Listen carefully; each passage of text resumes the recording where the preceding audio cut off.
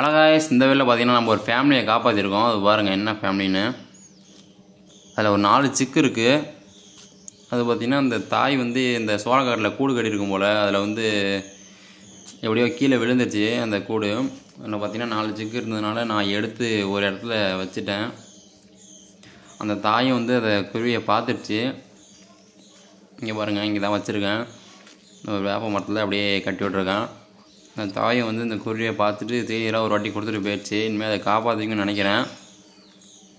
நீங்கள் இந்த மாதிரி எங்கேயாவது குருவி கூட இந்த மாதிரி கீழே கடந்து நீங்கள் சிக்கோட எடுத்து இல்லை எக்கோட எடுத்து எங்கேயாவது வச்சு நீங்கள் பண்ணுறீங்களா என்னென்னு கமெண்டில் சொல்லுங்கள் நமக்கு தெரிஞ்சுக்கும் இந்த மாதிரி எங்கேயாவது பார்த்தீங்கன்னா நீங்கள் அப்படியே விட்டு போயிடாதீங்க. அது அப்படியே செத்துரும். இது பார்த்திங்கன்னா பூச்சி புழுதான் இந்த மாதிரி தான் சாப்பிடுது. இது வந்து சோளக்காடு பருத்திக்காடு இந்த மாதிரி இடத்துல வந்து வாழ்ந்துட்டுருக்குன்னு நினைக்கிறேன்.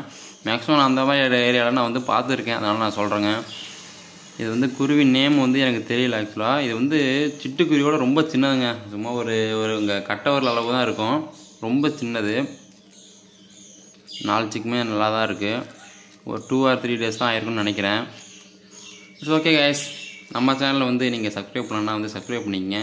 இந்த வீடியோ பிடிச்சிருந்தா ஒரு லைக் மட்டும் கொடுத்துங்க. சியூ அடுத்த வீடியோவில் சந்திப்போம். பாய் பாய்